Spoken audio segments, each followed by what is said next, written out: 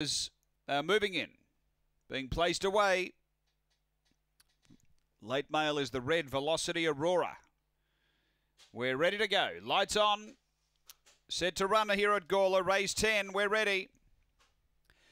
Racing, patchy start, coinage flew out. It's looking for the lead, booting up Magic Hat. Oh, they tangled and getting around a Rapsag Miss found the lead. Velocity Aurora second, then Great Bambino. Next, Long Gully Jane, coinage out of it now with Magic Hat, but the leader, a Rapsag Miss, comes to the turn four in front of Velocity Aurora, Great Bambino, and Long Gully Jane, but a Rapsag Miss too good. A Rapsag Miss first, second Long Gully Jane, third Velocity Aurora, then Great Bambino from coinage, and back at the tail end is Magic Hat. The time time here is around 23 and 10. 23.06 the gallop. And uh, too good here. Number eight, a Rapsag miss for Bob Isaacson. Got up and around them. There was a bit of trouble. She